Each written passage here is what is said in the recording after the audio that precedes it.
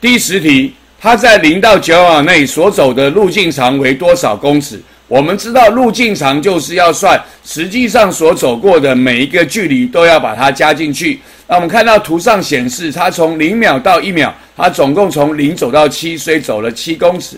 接下来呢，从一到三秒呢，它没有动，走了零。然后呢，从三秒钟到四秒钟，从抽七走到五，所以走了两公尺，不需要加负号。因为呢，我们的路径长是管它实际上所走过的距离，不用管方向。然后呢，从四秒钟到六秒钟也是走零公尺。接着从六秒钟到七秒钟，回头走了一公尺。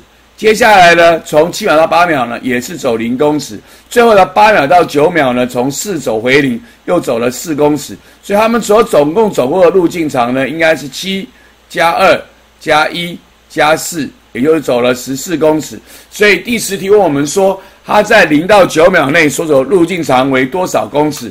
我们答案呢选的是猪十四公尺。